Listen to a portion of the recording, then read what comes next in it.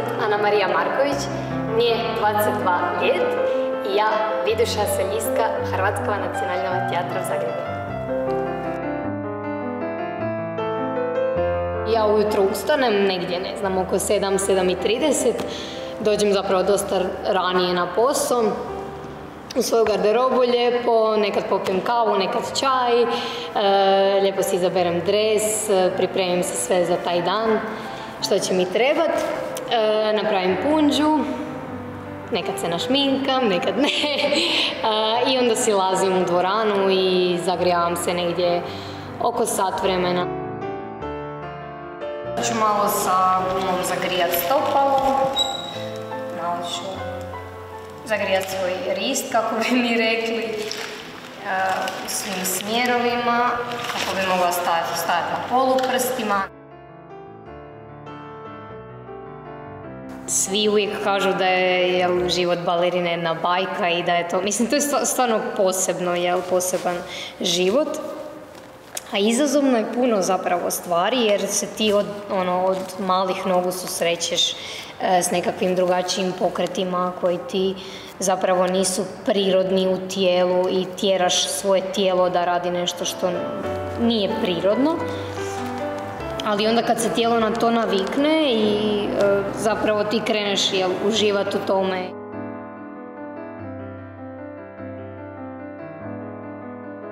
Ma nekad onak dosta teških dana, pogotovo kad sam jako umorna i onda je e, te, nekad nije se toliko teško motivirati, ali jednostavno osjećaš da tijelo kao ne da, da, da, da više tijelo upravlja tobom nego što bi ti zapravo trebao upravljati svojim tijelom.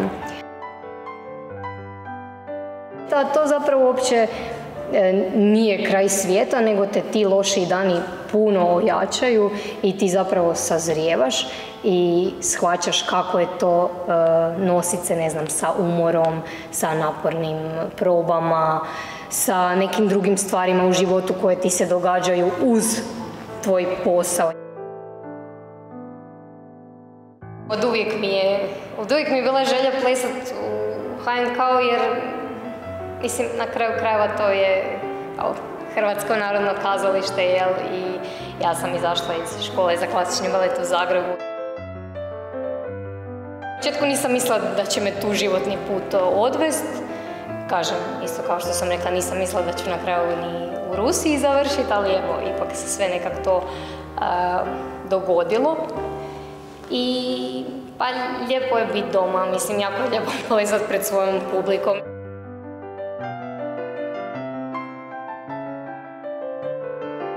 Dosta je velika konkurencija zapravo, pogotovo među nama curama jer je nas puno i više i onda normalno da trebaš puno više raditi.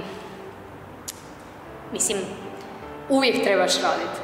Bio ti talentiran, ne, jer na kraju krajeva je samo rad taj koji te, e, koji te izdvaja od možda većine ljudi i po tome si poseban. Ja mislim da po radu i prema ljubavi koju ulažeš u taj posao, e, toliko ti taj posao i, posao i vrati. Moraš imati neku tu tremu da te malo ovaj, prije e, nastupa je, ne znam, potakne, da, da se osvijestiš, da izlaziš na scenu pred, ne znam, 600 ljudi. Tako da to, to je bitno na neki način, da ne ideš bez ikakvih emocija.